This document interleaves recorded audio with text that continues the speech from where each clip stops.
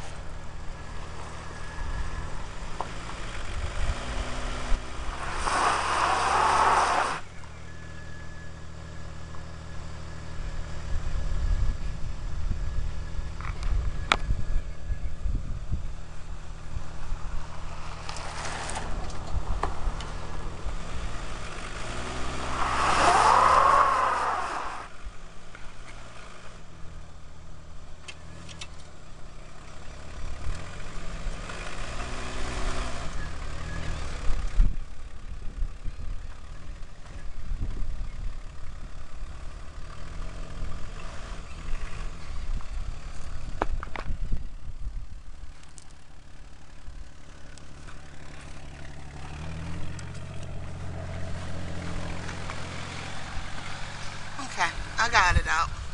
So I guess I'm gonna try to drive home now. That was fun.